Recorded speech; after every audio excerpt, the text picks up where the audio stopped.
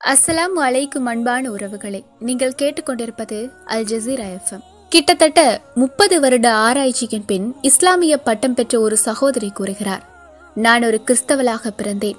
ஆனால் நான் என் வாழ்நாள் முழுவதும் கேட்பது இஸ்லாத்தின் அந்த முதல் நிமிடத்தை தான் ஏன்?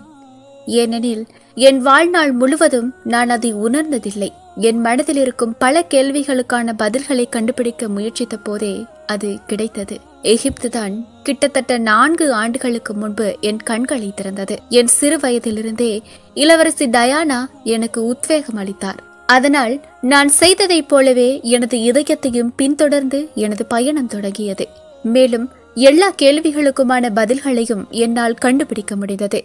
அல் அஸ்ஹர் மசூதியில் முப்பது ஆண்டுகளுக்கு பிறகு நான் இஸ்லாமிய பட்டம் பெற்றேன். அல்ஹம்துலில்லா.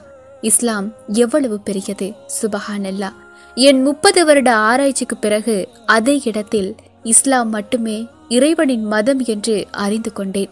எனது கனவை சாத்தியமாக்கிய அனைவருக்கும் மிகவும் நன்றி. இன்று என் உணர்வுகளை விவரிக்க என்னிடம் வார்த்தைகள் இல்லை. எனக்கு ஆதரவளித்த எகிப்தியர்களுக்கும் எகிப்திற்கும் மிக்க நன்றி. மற்றும் அல் அஸ்ஹர் அல் ஷரீபுக்கும் நன்றி என்று தன் மகிழ்ச்சியினை பகிர்ந்திருக்கிறார்.